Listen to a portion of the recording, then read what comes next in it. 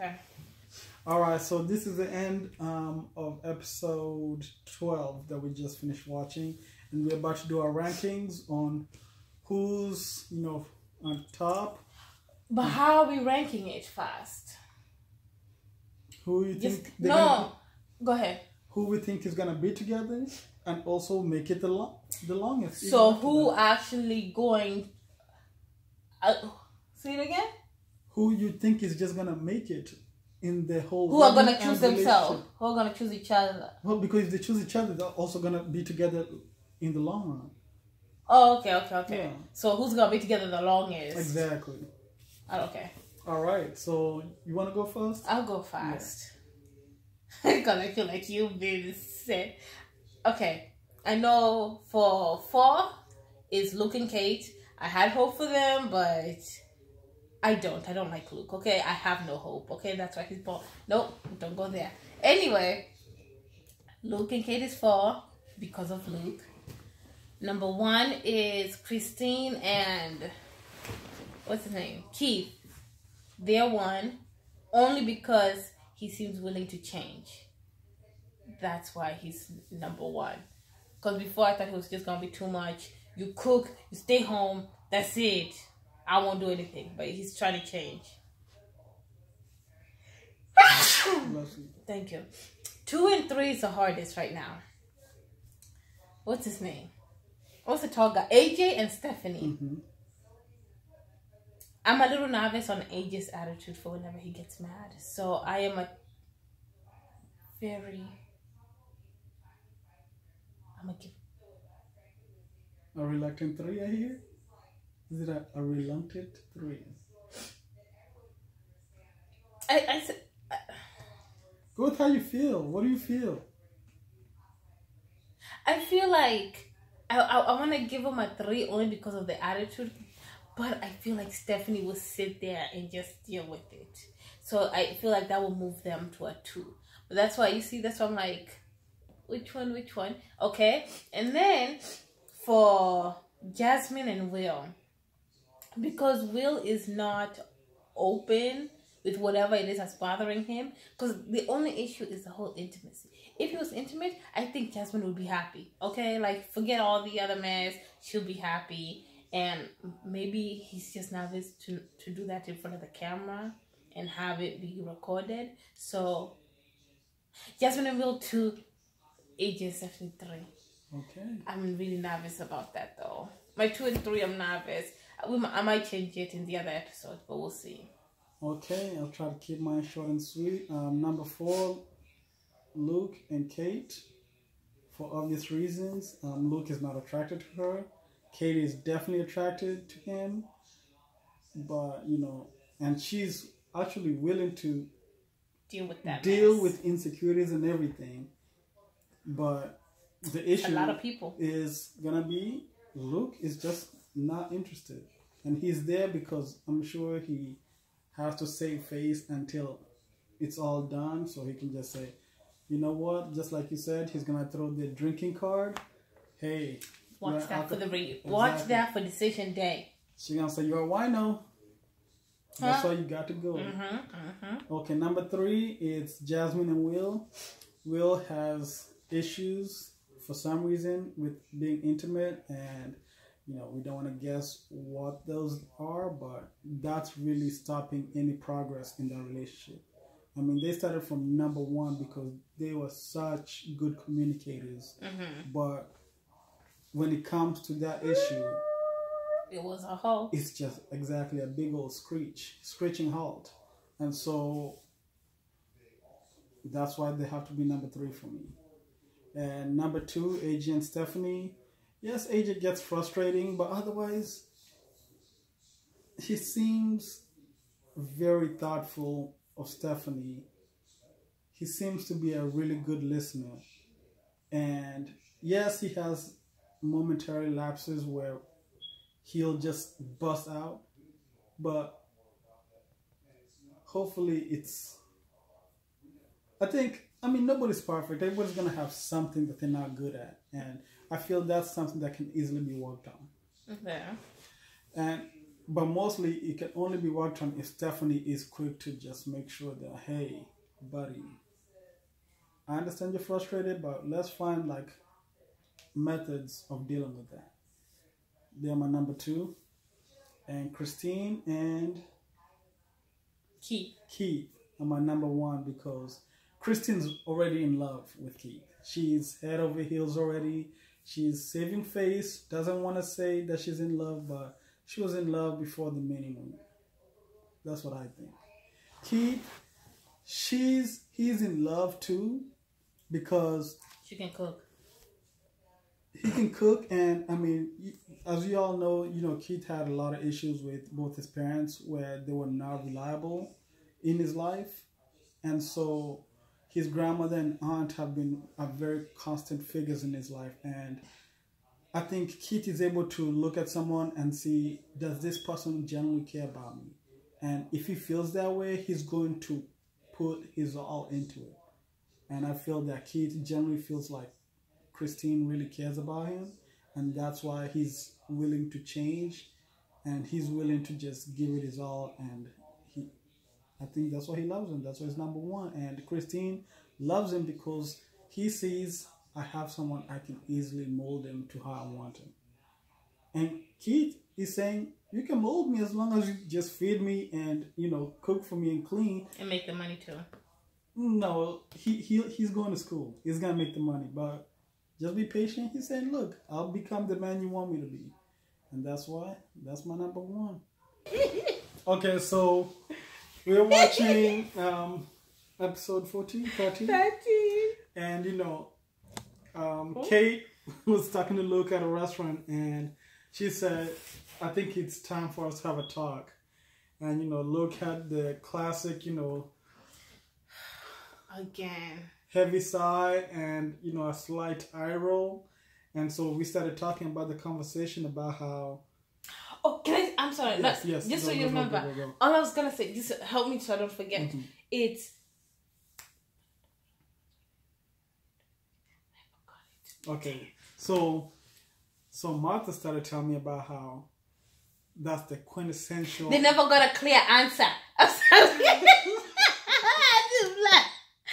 Like, isn't that what you said before? You didn't understand? yeah like we didn't understand No, no, we never got like the answer that you wanted we never felt like you gave us a, the answer we actually want, a definitive answer we were looking for, either yes or no. You gave us the runaround. Okay, now go ahead. Okay. I just had to have it out so you know when and so Mariitha you know Ignore me, people. made- I'm having a moment right now. so she made a statement about how you know every time a girl mentions that they want to have a talk the girl will have the same quintessential reaction a heavy sigh eye roll like here we go again and i told her that it's because what well i don't want to go into generality, so i'll say in my experience was every time i heard let's talk it was always about the same topic and when I would bring up that we already talked about that, it would be like, but I, I didn't say this specific word, especially last time I might have said something else, but this time I might be saying the same thing, but I'm saying it in a different way. It's a different example. But there's different example to the same point. And so I told Mariitha that sometimes you guys do it. No, I forgot my train. No, no. Some he's saying sometimes we do it because at the end of the day we want to. Have you said? I know. I don't remember my first point, but it's about. no, your point was that we want to just. Oh my gosh, why are we just blanking? blanking right now. I think it's the lights. Okay. So, but I think what we said, I think he'll come to us. But what Mariitha said is we didn't. They did get, because women don't feel like they got the answers they were looking for. No. But what I would say is, it's not that you didn't get the answer you're looking for. You you just did. If we didn't agree with whatever you said, you're not gonna be satisfied with it, and so you guys are gonna keep bringing it up until you find a way to like Convince you. convince us because cause then that's why you always try to bring it a new example hold on before i lose it you try to bring a new example the next time because you're like well Last example didn't convince him, but guess what I got in this bag?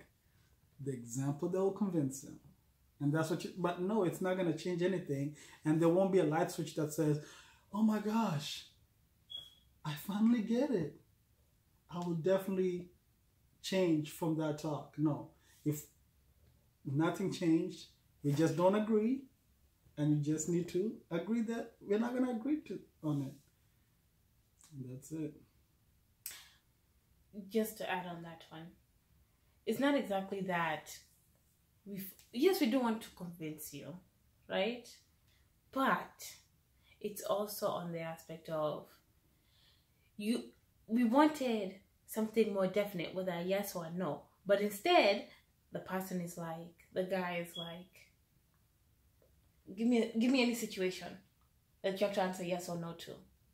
Did, are you gonna go riding a horse today? I know very weird, but it go with me. Are you gonna ride a horse today? The female asks that to the dude, and the dude would be like, horses. No, no. Here's a good one. Here's a good one. If I became a vegetable, would you get into another relationship? Like, let's say you got into an accident, you got into a coma. Oh, that's what you meant. I'm like, oh, very simple. I'm I a guess- corn. 'cause- 'cause I don't think you're having a long talk over are you gonna ride the horse today. You're not gonna sit someone down and say, I want to have a talk, and then say, you're gonna ride the horse today? Oh, let me give my example Okay, for you sorry, to know what I'm talking about. Because you, you going, I don't know. So the example that I was going with, I was just making it simple. A simple question is, are you gonna go riding a horse today? A simple answer would be, yes, I am, or no, I'm not. And guess what the guy's gonna do? A horse is an animal, and it right, it, it jumps around everywhere. I am a man I do as I please whether I want to ride the horse or not. Anything else you want to say? And that's the point. They never made a definite answer. And so the woman's like, oh my gosh. Oh my gosh. Can we Something's just- wrong with him. No, sometimes, because if you really think about it, Luke does that. If you watch Married at First Sight, you realize so Luke never gives Kate a definite answer. He goes in a circle and he says gibberish and it keeps it moving. And you know it too. But That was a good example. that is the most exaggerated thing I've heard in 2019. My po- it's the point that I'm trying to make that I was just, using a very odd example. No, no, no, but my point the point a was still made. Horrible, horrible The point was still made that you don't answer the question at hand. You go in a circle. because anytime Ladies, if you know what I'm talking about, and if you agree that Luke was doing that the entire time, please, please, either comment or like or something. I just need maybe a comment so I know if you're female or not. And if you're male, I want to know if you're. I, I just want to know who you're talking to. It seems like you owe whoever you're talking to some money. Ladies, ladies, ladies, and more ladies. you know what it was? I'll say this. It was. Ladies, subscribe, like, comment. Ladies, no. my ladies, down there, down there. That weird. I didn't see where you pointed. All I'm saying is, No, okay. I'm sorry. I, I, have a bad Go habit of cutting go off. I apologize. But I'm going a little here. If anybody ever saw that own channel, that own dating channel show, I forgot what it was called, Love Something. Are you ready or something like that? There was one of the guys who was a player that did the same thing, just run. It's what players do. Simple as that. I'll leave it there. okay, but the example was bad because if you're having to sit someone say, we need to have a talk, it's not going to be over something trivial like, are you riding a horse? It would be like the example I gave you. It'd be like, hey, if I was in a coma, would you get into another relationship? Because. And you still go in the circle. But I'm, I'm about to tell you why a guy might not give you a direct yes or no, black or white answer. Because a question like that, there's a lot of gray areas involved. Like, first of all, because I would ask, okay, let's. What if? How long are you in a coma for? Because that would make be something serious. Because if you're in a coma for like five, six years, hey, won't you want me to also have maybe somebody because okay, you like I would definitely not date someone after the one, two, maybe even three years. But like once you pass that three year mark, the doctor say we don't know when she's coming back, so I'm just supposed to be alone all my life. That's all I'm saying. Now I'm I'm saying I could be with someone, but whoever I'm with, I tell them she's still my number one person. The person that's in a coma will be my number one person. We gotta take care of her. She's still my wife, but you know the guy has needs.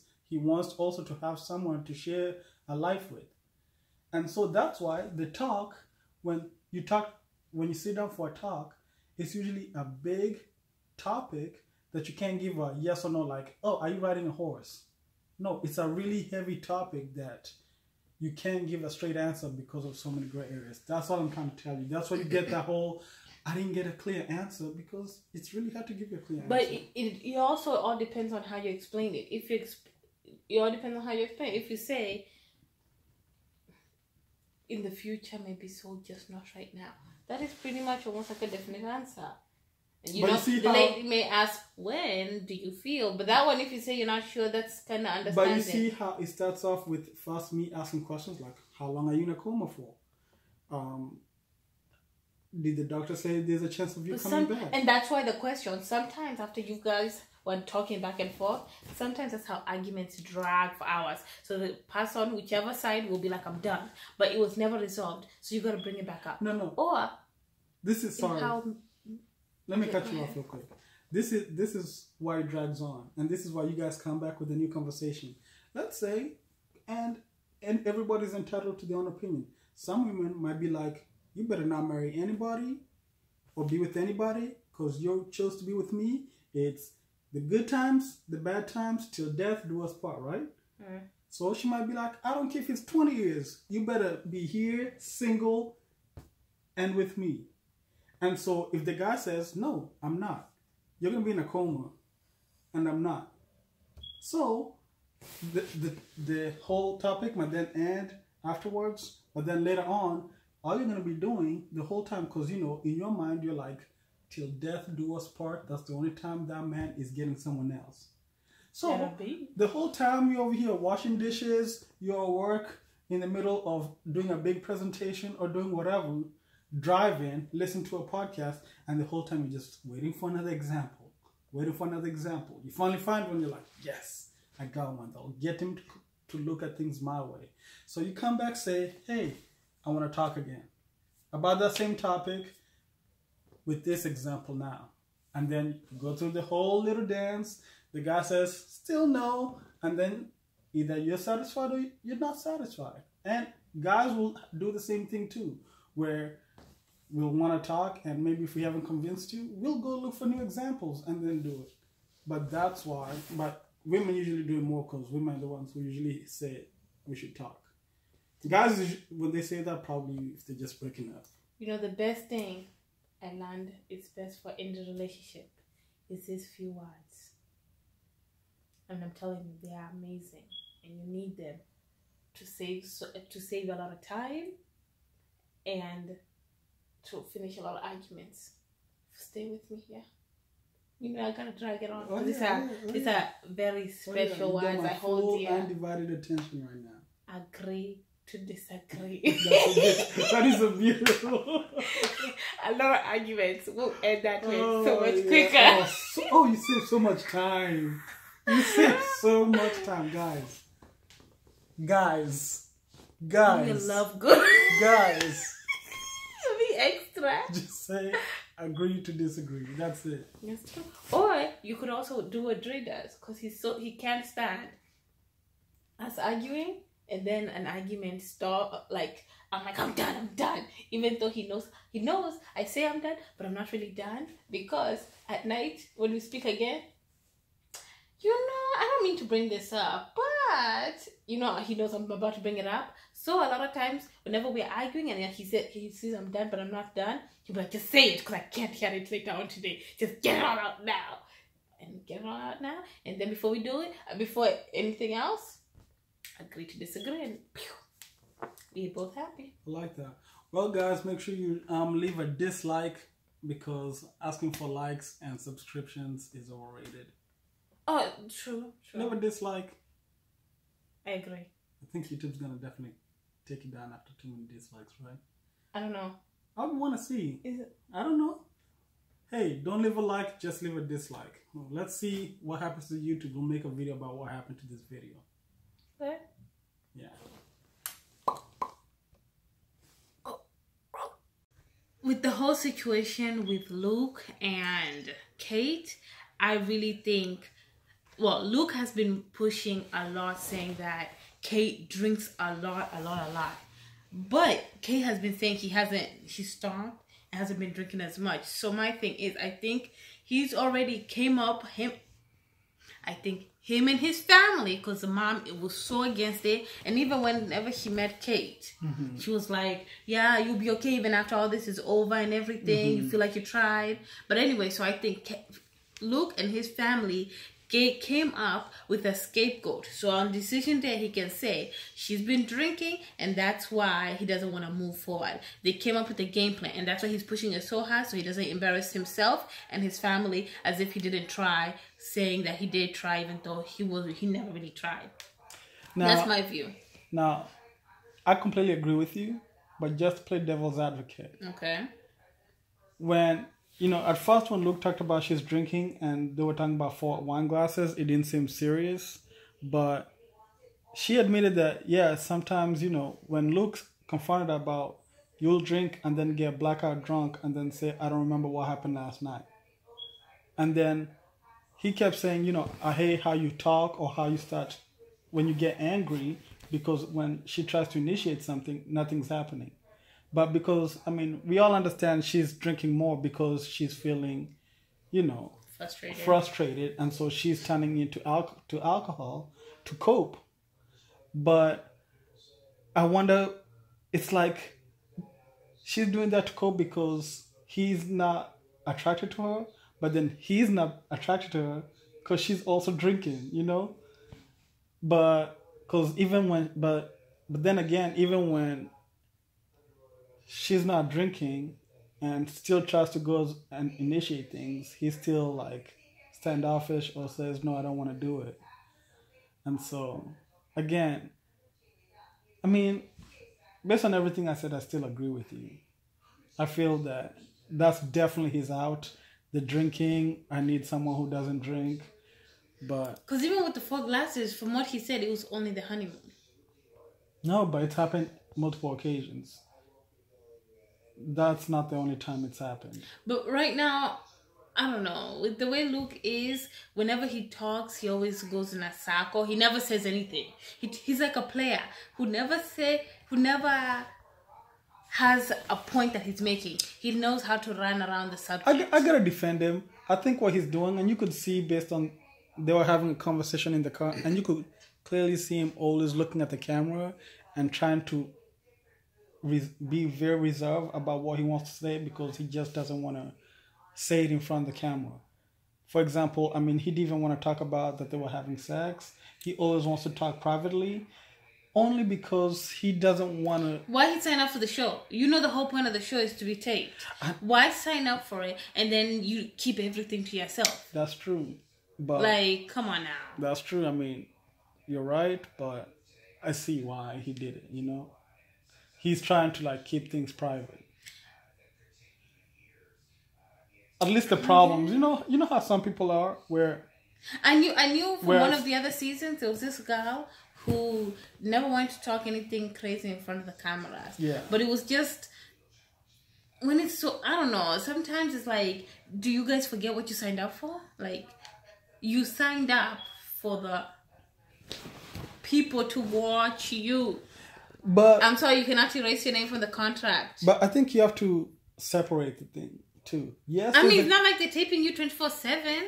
Exactly, but to them, they could say, "Well, no, yes, I know they're taping, but I didn't, I didn't sign up to just be taped." They could say, "If I just wanted to be taped, I probably would have went and tried out for other shows, you know." But they signed up for this one because they're actually looking for love, because this one also came with like you know, um, counselors. It came with pastors. It came with people they could talk to to try to help them go through with them finding love or finding a husband. So you can't just say, "Oh, you signed up for it," because I mean, unless we go look at what other places they've signed up for. If they signed up to the real world, then you could say, um, "Okay, you do I'm want to be sorry. on TV." No, I don't want to hear it. I don't want to hear it. This is a TV show. No excuses. I'm sorry. Er, he said nothing to me. He went whoop whoop. Hey, Signed up for a TV hey, show. I, I can't argue. I think you make a clear point. It is a TV show, but You you want to do it privately? Go to a matchmaker, yeah. and then you go pay for your counselors on top of that. Get out of here.